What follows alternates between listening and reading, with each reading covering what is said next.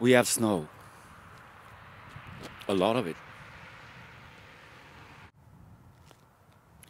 And it's still October. And I don't mind the snow. The snow makes it brighter, whiter. What I do mind is that this is probably going to go away next week because it's getting warmer. And then we have a cold and dark November. I don't think the nomads would have stayed in this country if they came in November. When the snow settles, probably in December, then it's fine again. It's white, uh, but dark, but but but white. Anyway, I I was thinking, why did I become a musician? Why did I choose music as my work?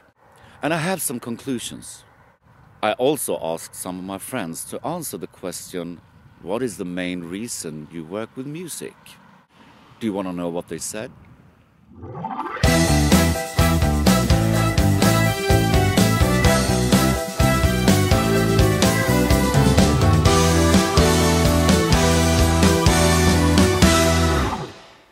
Hi, my name is Roger. How are you doing? First of all, I'd like to thank you for watching my videos and the subscriptions I've got. It's really appreciated. So thank you so much. And I want to ask you if there's something you want me to do, something you want to see about the life of a musician or music related uh, of any kind. Please let me know in the comments. It's not that I'm lacking ideas for YouTube videos, I have plenty of ideas, but I want to know what you want to see. So please let me know. In this video, I asked both myself and a few of my colleagues to answer the question what is the main reason we work with music? And maybe it is like Tim Pierce answered me it's impossible to say. A part of why I want to do this YouTube channel is that it challenged me to think about the why, how, what, when, and, and why.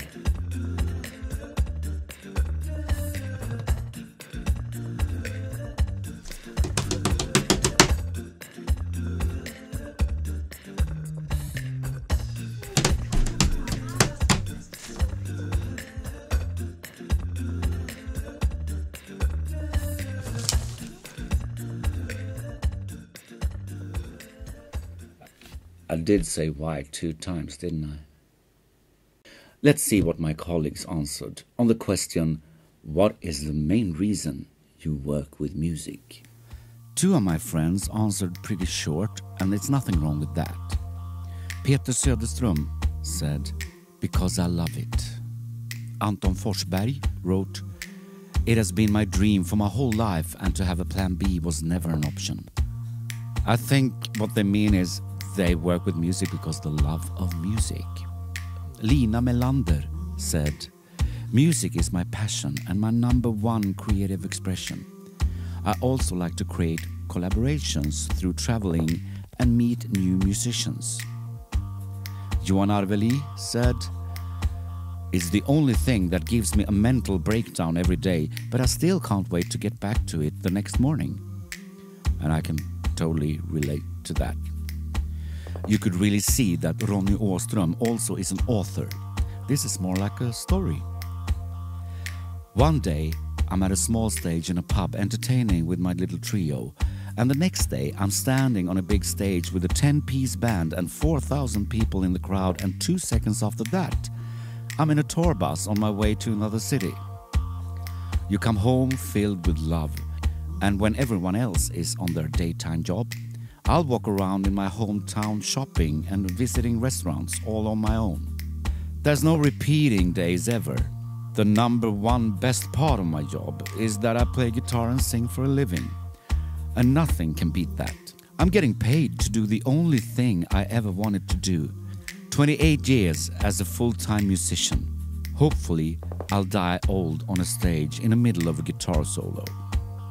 What I think he talks about here is not only his passion for music and his love for meeting new people, being on different stages in different cities, he also talks about the contrast between the responsibility and the freedom of being a musician. I took a long shot. I sent the question to the world's most recorded person, at least most recorded person alive. I sent a message to Leland Sklar, and I was so happy that he wanted to answer me. I love music and have been a musician since I was five years old. It's my life. Have you seen a concert? You've seen him. And Tim Pierce and Leland Sklar have their own YouTube channels. You should really check them out. The link is down below. The next one makes you think a little bit. Jonas Lingård said, Music is expressions of emotions, much more powerful than a spoken language. The world would be a much more dangerous place without music. Petra Wahlgren wrote, I would say the main reason is the connections, musician to musician and musicians to the audience. The connection is, at least for me, a way to instantly feel alive and to make the moment matter.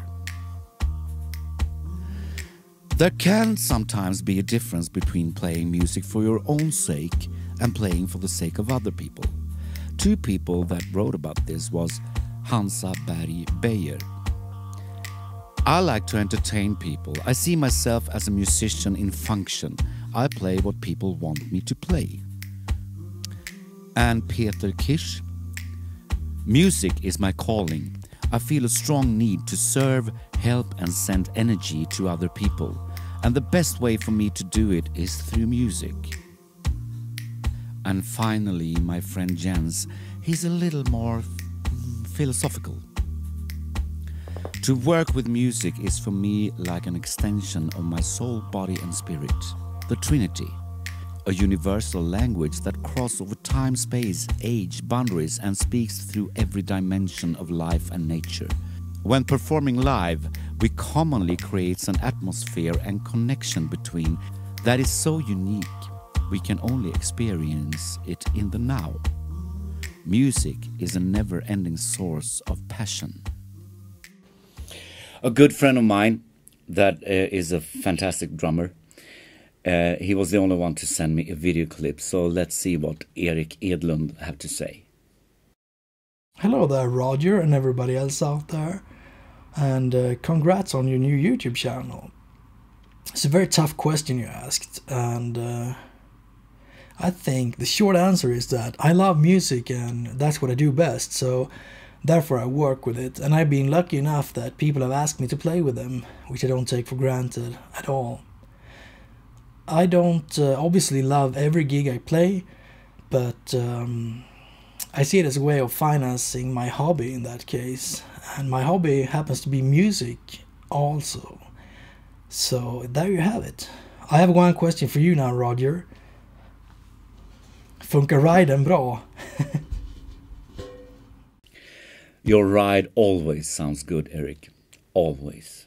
Erik also have a YouTube channel. Link down below. So why do we choose music as our daily job, or, or should I say way of life? Because the money is not good. So why? Well, there are other benefits, and uh, let me show you. We all work with music because we have a passion and a love for music. There's also an ego boost. Yes, it is.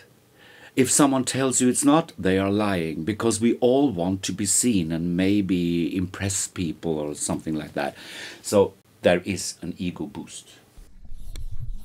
We also, of course, have the ability to move people, to make emotions, to make people happy, and having a good time, which is really satisfying there is a lot of freedom in the music work. When we have assignments, we have to use the schedule, we have to be on time, we have to perform well. What we do in between the assignments, that's up to us. We choose our own time. Yeah, yes, we need to practice. We need to take care of our instruments, program sounds in our synthesizers, learn new stuff, all those things. We have the ability to choose our own time. Maybe I should do a video about a week in a musician's life. Hmm. Let me know if you want me to do that. We also meet a lot of people. We have good conversations with a lot of new people. We meet, we see different places, different cities, if it's in our own country or in the world, but we explore a lot. And one more thing that I want to add to the list is that every day is a challenge. And for me, that's one of the main reasons. Every day I learn new things. And that's what's keep me going. So there you have it. I hope you got something out of why we became musicians, why we wanted to be musicians, and have that as our work. I haven't forgotten the Swedish word for today. It's gonna be orsak.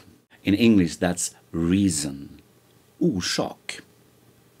And let me end with the answer from my friend Carl because I totally agree with it. I make a living doing what I want and have the privilege of making people happy. The only downside is the travel hours. Roger that.